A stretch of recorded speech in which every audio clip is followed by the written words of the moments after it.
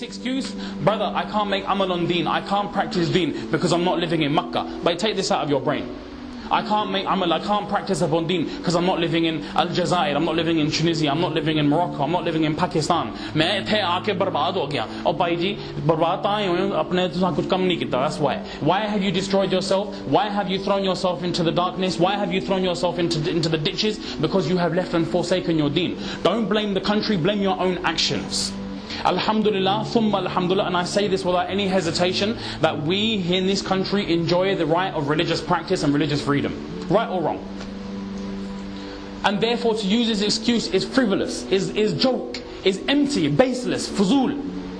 That if I was in my own country, what do you mean own country? So that means it will just automatically sort out because you are there. By fixed up to a new era. You are now in this country and so are your children. So use this as an excuse does not work in the court of Allah, forget let alone working in the court of someone like myself or yourself. We, if we develop the quality of taqwa, which was the maqsad and purpose of Ramadan, would find there would be a change within our lives. That is why Allah Ta'ala made us fast. Do you think Allah Ta'ala made us fast for fun? Just to see what would happen if I make them have to go without food or water? To see what would happen if I tell them they can't go and fulfill necessities from the wife, in, obviously for a restricted, restricted period of time? You have to worship of Allah subhanahu wa ta'ala throughout different parts of the day. You have to abstain from certain things, fulfill certain things, so on and so forth. What, you think Allah gets anything out of it?